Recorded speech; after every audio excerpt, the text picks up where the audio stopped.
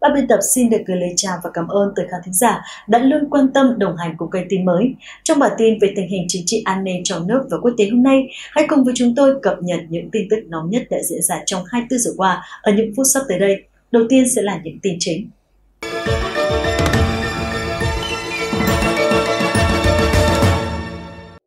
Bản tin lũ lụt Trung Quốc mới nhất ngày 20 tháng 7 năm 2023 Thưa quý vị, những ngày qua, thiên tai nhân họa đã xảy ra trên khắp đại lục và hôm nay chúng tôi sẽ tiếp tục cập nhật những thiên tai nổi bật để gửi tới quý vị và các bạn. Xin mời quý vị và các bạn, chúng ta sẽ cùng đến với nội dung chi tiết. Mới đây, trên khắp trang mạng xã hội đồng loạt đăng tải đoạn video quay lại cảnh tượng kỳ lạ ở vùng nông thôn thuộc thị trấn Tây Tam, Tây Tạng thuộc Trung Quốc. Xuất hiện dị tượng cá chảy thành sông giữa sa mạc Đoạn video cho thấy giữa sa mạc đầy cát trắng xuất hiện một dòng chảy, bụng mang theo rất nhiều cá dễ ruộng đanh đạch. Điều này đã khiến cư dân mạng bình luận sôi nổi và lo lắng điều này có điểm báo nào đó đến hai trang. Tuy nhiên, hiện nguyên nhân vụ việc vẫn đang được xác minh. Trung Quốc là một quốc gia được biết đến là độc ác, tàn nhẫn và được coi là đất nước ngang tàng, phá hoại nhất thế giới. Chính vì vậy, khi được nhắc đến Trung Quốc là người ta sẽ nghĩ ngay là một quốc gia phá hoại và lươn lẹo Trung Quốc luôn bóp méo sự thật và tốt khoe xấu che với thế giới vì sự mất mặt. Vừa qua, thành phố Tam Khẩu ở miền đông nam Trung Quốc đã xảy ra một sự việc khiến người dân lo ngại về an sinh của mình. Đó chính là hàng loạt cá chết trôi giạt lên bờ, nhiều đến nỗi hàng ngàn con cá trôi lên khoảng 1 km. Cảnh tượng lúc này đã được người dân đăng tải lên Weibo, nhanh chóng nhận được sự chú ý của cư dân mạng và thu hút gần 1 triệu lượt xem. Nhưng bên cạnh đó, chính quyền Trung Quốc lại cố tình ém thông tin, sợ rằng sẽ bị cả thế giới biết tình trạng ô nhiễm của quốc gia này và nguy hiểm đến mức hàng loạt cá chết trôi giạt trên bờ. Theo phóng viên của chúng tôi có mặt tại hiện trường cho thấy, lúc này hàng tấn cá chết từ biển trôi giạt linh láng trên bờ chỉ trong một đêm sau khi thức giấc người dân đã được chứng kiến cảnh tượng kinh hồn này. Ai nấy đều lấy làm lạ vì không ai hiểu rằng vì sao cá lại có nhiều và dồn lên bờ thế này, hàng chục tấn cá chết bất thường giạt vào bờ hồ ở thành phố Hải Khẩu, miền Nam Trung Quốc đang gây quan ngại đối với người dân nơi đây. Theo phóng viên, chúng tôi ghi nhận ít nhất 45 tấn cá bị trôi giạt vào bờ hồ trên đảo Hải Nam ngày Chủ nhật vừa qua. Tin tức ban đầu cho hay, một đợt chiều cường đã đẩy cá tới cửa sông, khiến chúng bị kẹt vào một hệ thống bơm nước rồi trôi nổi trên hồ nước. Theo truyền thông Trung Quốc, người dân quan ngại về tình trạng ô nhiễm gây ra hiện tượng này, nhưng chính quyền địa phương lại cho rằng việc xảy ra là do sự thay đổi độ mặn trong hồ nước và không có lý giải hợp lý cho người dân đồng tình và an tâm. Chính vì lý do này, người dân địa phương đã rất lo ngại về môi trường đang sinh sống bị nhiễm độc, nguồn nước sinh hoạt bị ô nhiễm nặng nề, theo thông tin mà chúng tôi mới nhận được vào sáng ngày 19 tháng 7, chồng bà Vương, một người dân ở làng Ngọc Thạch, Hải Khẩu, Trung Quốc, trong lúc đi thăm hồ nuôi cá đã phát hiện hàng ngàn cá chết hàng loạt. Sau đó, lượng cá chết mỗi ngày càng tăng gần như liên tục, cho đến khi xác cá phủ kín cả mặt hồ vẫn không ngừng. Hiện nay, lượng cá chết đã lên tới 8,5 tấn. Bà Vương nghi ngờ có người thải độc xuống nước, nhưng cho tới hiện nay vẫn không có lý do hàng ngàn con cá chết bí ẩn đã khiến cho nước hồ ở đây trở nên ô nhiễm nặng nề. Cả một vùng không gian rộng lớn, nồng nặc mùi cá chết hôi tanh vô cùng khó chịu. Một người dân địa phương có tên là Lý Hằng cho biết, từ đầu năm 2022 năm nay, chúng tôi bị thiếu nước sạch, nước uống thì ít mà nước lũ phủ xả đất thì nhiều. Trong khi lũ lụt xảy ra ở khắp cả Trung Quốc, nguồn nước thì dư thừa và gần đây nước uống của chúng tôi có khác lạ, có mùi rất hắc và mùi bị nhầy. Chúng tôi rất lo lắng cho cuộc sống không còn được bình yên nữa, mọi thứ đã bị đảo lộn. Một người dân khác cho phóng viên chúng tôi biết rằng mọi khi khu vực chúng tôi được rất nhiều khách du lịch, nhưng thời gian gần đây không có khách nước ngoài ghé nữa.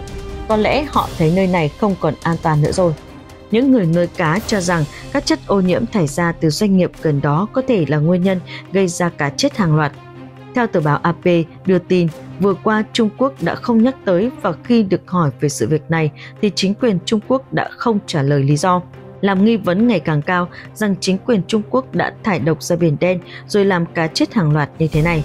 Các quan chức phụ trách về môi trường đang điều tra nguyên nhân gây ra tình trạng cá chết hàng loạt. Theo hãng tin SCB đưa tin, hiện chưa rõ loạt cá chết và các ngư dân mạng địa phương nói với họ là chưa từng nhìn thấy loại cá này tại hồ. Khi phóng viên chúng tôi có mặt tại hiện trường thì đã thấy nhân viên môi trường tỉnh Hải Nam phải huy động 4 thuyền 200 lượt người đã thu gom được 30 tấn cá chết. Cá được tiêu hủy ngay lập tức tránh bị đem ra ngoài chợ bán. Quan chức tỉnh Hải Nam đã chỉ đạo điều tra làm rõ nguyên nhân.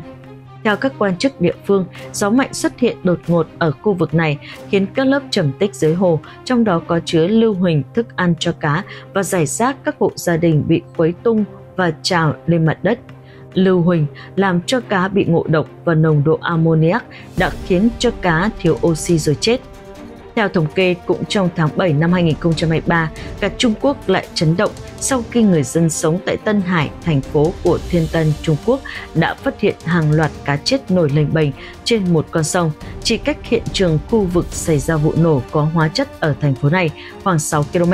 Đài truyền hình Trung ương Trung Quốc sau đó cũng đưa tin các xét nghiệm máu, cá và nước sông không tìm thấy lượng axit ammoniac đáng kể. Vì vậy, vụ cá chết không có liên quan đến vụ dò dỉ hóa chất – nhưng giải thích không thuyết phục được người dân Trung Quốc. Giới chức Trung Quốc thừa nhận ít nhất 700 tấn cá hóa chất được cất ở khu nhà kho bị nổ, nhưng vẫn cố tình trấn an người dân rằng cá chết hàng loạt không phải là do hóa chất dò dỉ ra sông. Các nhà Trung Quốc đã phát hiện khoảng 5 tấn cá chết bất thường trong một hồ chứa ở quận Simacai thuộc tỉnh Hắc Long Giang. Nguyên nhân vẫn chưa được làm rõ, nhưng theo ước tính của chính quyền địa phương, thiệt hại có thể lên đến 100 triệu nhân dân tệ trước hiện tượng cá nuôi và cá trong tự nhiên chết hàng loạt ở ven biển miền Trung Trung Quốc, Bộ trưởng Bộ Tài nguyên Môi trường đã chỉ đạo Tổng cục Môi trường, Tổng cục Biển và Hải đảo Trung Quốc phối hợp với Bộ Nông nghiệp và Phát triển Nông thôn và Sở Tài nguyên và Môi trường để tìm hiểu, làm rõ nguyên nhân cá chết ở khu vực này. Kính thưa quý vị khán giả, vào sáng ngày 19 tháng 7, cơn bão có sức tàn phá khủng khiếp tính từ đầu năm đến nay quét qua và tàn phá đảo Hải Nam cùng các tỉnh khác của nước này gây ra một cảnh tượng hoàn toàn đổ nát. Khi cơn bão đi qua, đã và đang tiếp tục làm thiệt hại hơn 130 người cùng vô số tài sản của nhà nước và người dân mà chưa thể thống kê hết được. Đặc biệt trong cơn cuồng phong của bão lần này, một căn cứ quân sự của Trung Quốc trên đảo Hải Nam với nhiều loại vũ khí, trang thiết bị, khí tài quân sự đã bị thổi bay khiến cho hàng trăm binh sĩ tại đây thiệt mạng. Dư luận cho rằng coi như ông trời đang giúp nước mà Trung Quốc đang chuẩn bị tấn công như Đài Loan, tiêu diệt khí tài, quân tư trang của nước này. Vậy diễn biến của siêu bão mang tên Noru này diễn ra ra sao? Mời quý vị lắng nghe bản tin được cập nhật mới nhất của chúng tôi. Theo tin tức dự báo thời tiết cập nhật vào lúc 1 giờ sáng ngày 20 tháng 7 của phía Hải quân Mỹ, cơn bão Noru đã đạt trạng thái siêu bão với sức gió mạnh nhất đạt 220 km/h, gió giật mạnh 269 km/h. Bão di chuyển rất nhanh theo hướng Tây Bắc với tốc độ 10 km/h. Như vậy, tính đến 1 giờ sáng ngày 20 tháng 7, siêu bão Noru trở thành siêu bão cấp 4 theo thang đo gió bão phương Tây. Các chuyên gia thời tiết nhận định Noru là cơn bão mạnh nhất trong năm 2023 tại khu vực Thái Bình Dương. Theo Trung tâm Cảnh báo bão Liên hiệp Hoa Kỳ, vào thời điểm sáng ngày hôm qua, sức mạnh của cơn bão Noru tương đương với siêu bão cấp 5 trên thang đo gió bão phương Tây. Cơn bão đó đã quay trở lại tương đương với siêu bão cấp 4 và bắt đầu quay ngược trở lại với siêu bão cấp 5. Theo các chuyên gia nhận định là siêu bão lớn, hiện các nhà khí tượng cảnh báo rằng cơn bão này có thể mang đến những tác động nguy hiểm cho miền Nam Trung Quốc Cơn bão Noru được đặt tên theo phía Philippines sau khi nó đi qua khu vực cơ quan quản lý dịch vụ khí quyển địa vật lý và thiên văn Philippines theo dõi. Cơn bão đã bắt đầu tấn công Philippines vào cuối ngày thứ Bảy khi các giải mưa bên ngoài tiến đến. Theo các nhà chức trách cho hay, siêu bão Noru được dự báo sẽ hướng về Trung Quốc và quét miền Nam Trung Quốc vào giữa tuần này. Và đúng vào lúc 2 giờ sáng ngày 20 tháng 7, siêu bão Noru với sức gió cấp 5 tương đương gần 271 km/h và mạnh nhất trong vòng 12 năm qua đã quét qua đảo Hải Nam, Phúc Kiến và đang nhấn chìm thành phố Tam Á, Hạ Môn ở hai khu vực này. Bão lớn gây lũ lụt đã khiến cho hàng chục nghìn người dân phải rời bỏ nhà cửa và di rời đến nơi cao hơn để trú ẩn. Nhà chức trách địa phương vẫn liên tiếp nhận được những cuộc gọi khẩn cấp yêu cầu trợ giúp. Chính quyền đảo Hải Nam đã liên lạc với một số lãnh đạo các tỉnh như Quảng Ninh và thành phố Hải Phòng tạo điều kiện cho các tàu bè của Trung Quốc tạm thời vào cảng tránh trú. Theo thông tin từ cơ quan phòng chống lụt bão của chính quyền Trung Quốc, thành phố Tam Á, Hạ Môn là hai nơi được cho là chịu ảnh hưởng nặng nề nhất. Hơn 1.000 người đã được giải cứu, số máy khẩn cấp tiếp nhận hơn 2.000 cuộc gọi chờ cứu hộ và con số chắc chắn còn gia tăng. Giám đốc Cơ quan Quản lý Tình trạng Khẩn cấp Trung ương cho biết, chính quyền Trung Quốc đang lên kế hoạch ứng phó trên diện rộng và các công tác khắc phục hậu quả cho thảm họa này có thể mất nhiều tháng. Chủ tịch đảo Hải Nam và thành phố Hạ Môn Phúc Kiến cho hay, trận bão là một tin xấu và ngày càng xấu thêm. Chúng tôi đo được mực nước mưa những ngày qua không phải bằng inch mà bằng feet theo cơ quan dự báo thời tiết quốc gia Trung Quốc, bão Noru gây ra lũ lụt thảm khốc ở đảo Hải Nam, Phúc Kiến và nhiều tỉnh thành khác như Chiết Giang, Giang Đông và tình trạng nhiều khả năng sẽ còn trầm trọng hơn nữa. Hệ thống đường dây cứu hộ khẩn cấp của thành phố bị ảnh hưởng đã trở nên quá tải kể từ khi thời điểm cơn bão đổ bộ. Đừng gọi 911 nếu bạn không ở vào tình thế sống còn. Chúng tôi kêu gọi mọi người không nên hoảng loạn. Ông Lâm Bưu Mưu nhấn mạnh chính quyền Trung Quốc đồng thời yêu cầu người dân không nên trốn trên các xếp mà hãy leo lên mái nhà. Có những người chui vào các xếp để tránh lũ. Đừng làm như thế, trừ khi bạn có rìu hay vật dụng gì đó trong tay để phá mái nhà và leo lên trên. Đây có lẽ là cơn bão mạnh nhất mà Trung Quốc phải hứng chịu trong vòng 12 năm qua và là cơn bão mạnh nhất đổ bộ vào Hải Nam trong hơn 50 năm. Chủ tịch Trung Quốc Tập Cận Bình đã ký ban hành tuyên bố thảm họa quốc gia cho hai khu vực Hải Nam và Phúc Kiến theo một số thống kê sơ bộ, tính đến ngày 20 tháng 7, siêu bão Noru đã làm thiệt mạng hơn 130 người cùng với số tài sản của nhà nước và người dân mà chưa thể thống kê đo đếm hết được. Đặc biệt, trong cơn cuồng phong của siêu bão lần này, một căn cứ quân sự của Trung Quốc trên đảo Hải Nam với nhiều loại vũ khí, trang thiết bị, khí tài quân sự đã bị thổi bay, khiến cho khoảng 200 binh sĩ tại đây thiệt mạng. Đây là cơn bão gây thương vong lớn nhất tại Trung Quốc kể từ năm 1970. Theo dự đoán, tổng thiệt hại ước tính lên đến 10 tỷ nhân dân tệ. Tất cả các chuyến bay đến và đi đã bị hủy tại sân bay thành phố Tam Á Hạ Môn, Kinh Môn nằm trên đảo Hải Nam. Dự kiến khi mưa và gió từ cơn bão bắt đầu ập xuống khu vực trên, mức độ ảnh hưởng của bão Noru có thể gây ra cuối cùng đối với miền Nam Trung Quốc sẽ phụ thuộc vào thời điểm cơn bão kéo dài về phía Bắc bởi một hệ thống bão phi nhiệt đới ở phía đông Nhật Bản vào cuối tuần này lượng mưa được dự báo sẽ lên tới 200 đến 300 mm với hoàn lưu sau bão. Điều này có thể dẫn đến lũ quét mới đe dọa lở đất trên toàn khu vực.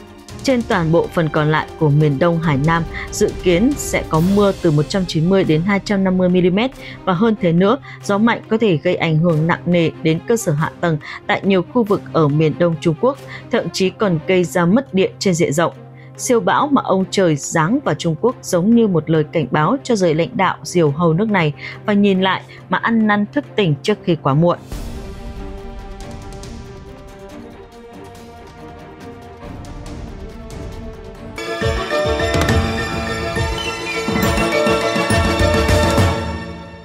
Vâng thưa quý vị, bản tin hôm nay tới đây là kết thúc. Chân thành cảm ơn quý vị và các bạn đã theo dõi bản tin của chúng tôi. Chúc quý vị và gia đình luôn mạnh khỏe hạnh phúc. Nếu thấy hay thì hãy đăng ký kênh, sau đó nhấn biểu tượng chuông ở góc phải màn hình để không bỏ lỡ những tin tức mới nhất mà chúng tôi sẽ cập nhật. Còn bây giờ, xin chào và hẹn gặp lại.